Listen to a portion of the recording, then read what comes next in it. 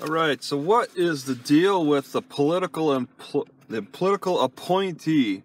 Now, reading in more of this public administration, at when you get to page 181, they break down the certain levels, uh, the special characteristics of the subsystems of of uh, public administration, and one of the ones they start out with, the one they start out with is the political employee, which gets my attention because in the news we hear about Trump firing this guy, Trump firing that guy.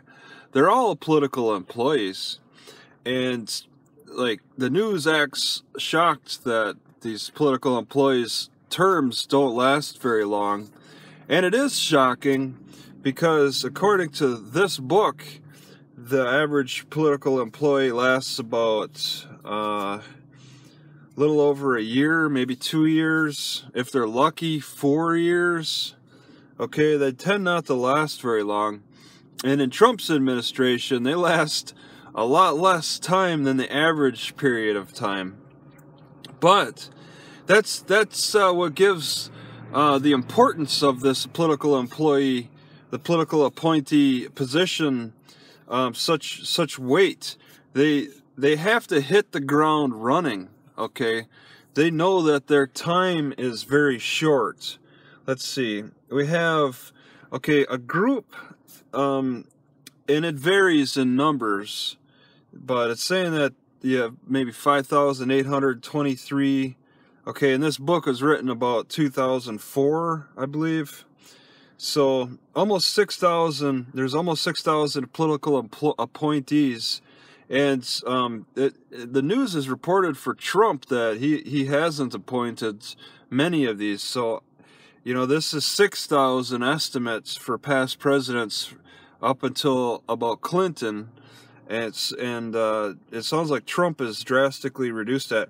There's th- out of there's three million federal civilian workers, and out of out of that, you have six thousand of, of them are political appointees appointed by the president, and they break down the appointees. Okay, the ones that require Senate approval, the number is six hundred sixty-three.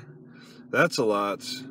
And then the ones that don't require Senate approval is 1,405. But once again, these numbers are going to be a lot lower for Trump because he's he's working uh, with uh, the the fewest people in in a long time. Okay, so the the people who are appointed uh, have a tendency.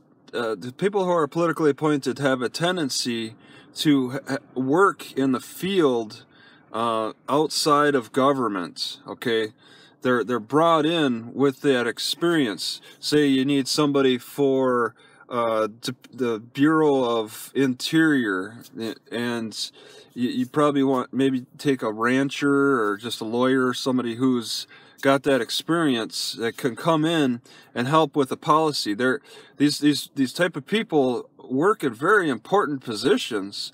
They're they're reported on by the media, they, I mean, there's there's a lot of scrutiny in their for their positions. I mean, you look at Rex Tillerson. I mean, he was who was this guy before President Trump appointed him? Okay, but he was he was a very qualified uh, fellow for the position because he was he had experience with working in other countries and and uh, performing the the whatever deals and and negotiations and and all that. But his his position is is short, uh, and that's by design. Okay, it's expected to be that way. Okay, and as Trump explains uh, one time, he said that uh, he fills the positions for for the uh, the various needs at the time. Okay, so you just don't grab somebody and hold them for your whole your whole career because there's a lot of different policies that uh, get brought up over time uh, that become important politically and and on the agenda for for Trump's agenda and stuff. And some people are more qualified to handle these type of uh, policies uh, better than others. You you just you just don't want to you want to have the best, especially in a high level position like that.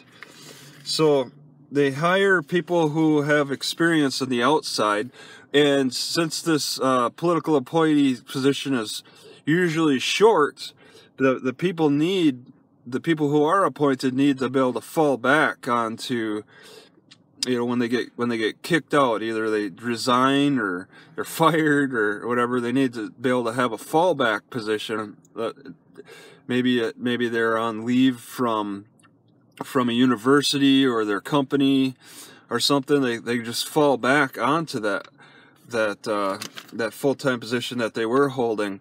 And because of that uh, the type of people the pool that's available to become a political employee has a tendency to be very limited, especially to uh, white, middle-aged, ur- urban, advanced Ivy League education educated people um, who have a high status in their careers. Okay, these people are called a, a, a bird of passage by Hugh Heclo.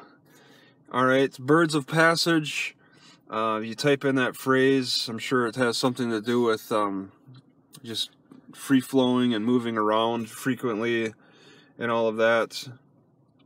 So they, they the person could be uh, reappointed because uh, looks it sounds like uh, Trump is reappointing John, the Bolton John Bolton who worked in government before and then he, he must have well he worked as a as a Fox News uh, like uh, correspondent or or uh, a professional uh, for Fox. The people interview him and all that, and now he's back. He's he sounds like he's coming back into a uh, government position. So uh, some some old old appointees could come back, but it's it's definitely in in line with the president and the loyalty involved to the president's agenda. Speaking out against the president as a political employee appointee uh, is is not good. That's not what they want to do, uh, especially when they want to get their own agenda, work on their own agenda effectively enough. You don't speak out against the president. All right, that's why the president is going to focus on hiring people who are loyal. All right, who eh, who uh, you know, just will implement what the president's uh, agenda is at the time. Okay, so that's that's a that's a pretty pretty uh, interesting interesting uh, like group of people. All right. It, it works on the federal level with uh, the president of the United States. It works the state level. It works on city level. It just um, you have uh, different different groups for that. And I think that's cabinet. Yeah, they they just they this book talks a, a lot of detail, and I'd highly recommend reading everything else. I was just trying to give a, a general synopsis. Uh, yeah, if you want to. They, they, they, they can easily be replaced. They hit the ground running, and if if uh, like a political situation becomes so bad they could be made these political employees could be made uncomfortable so much that they they want to resign or at least have to alter their behavior like Jeff Sessions. He he hasn't resigned. He's altering his behavior but he uh, he can be fired by the president at will but it's just not something that's that's happened yet but his everybody, every all those political employees' positions are are very very short. He just, um, I'm, I'm surprised. Ben Ben Carson seemed to have done really well with uh, the H the HUD.